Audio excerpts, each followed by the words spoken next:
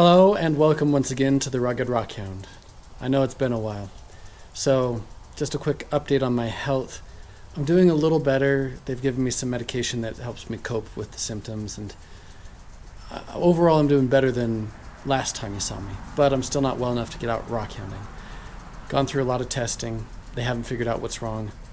We've got a test next week that I'm really hoping will shed, shed some light on what's going on.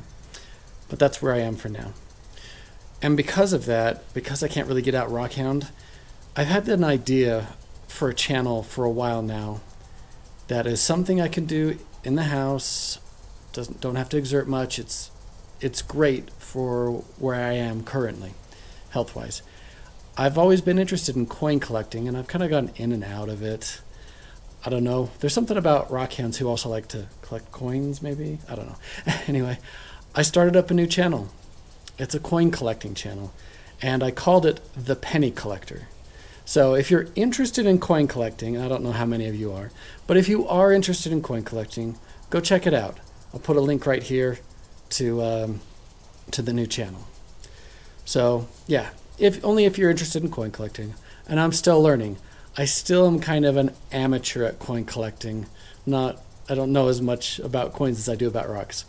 Like I said, I've dabbled in and out of it for years.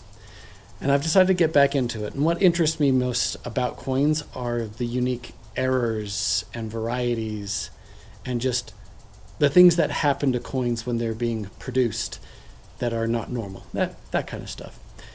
Anyway, and pennies were always my most the most interesting to me because they have the most errors because they're the least scrutinized when they send them out into circulation. Anyway, enough about coins. So today I'm going to go ahead and do a quick rock cutting video. So I got a few rocks over here. I'm just going to quickly cut them open. And let's take a look and see what we got. To start things off, we've got a little bit of the uh, agate from the Red Hill that I hadn't quite cut open. And okay, it's kind of what I thought. That's why I didn't originally cut it because I didn't think there would be much in it. But you can see some faint lines there. Here's some Levan black agate that I hadn't cut open yet. Oh, that's a nice one. Oh yeah, that's got some good banding in it. Yeah, this place doesn't really disappoint much, does it? nice. Here's a little bit of that red agate from the San Rafael swell. And, okay, yeah, it's right where I thought the vein would be. And that's nice. Good color, good banding.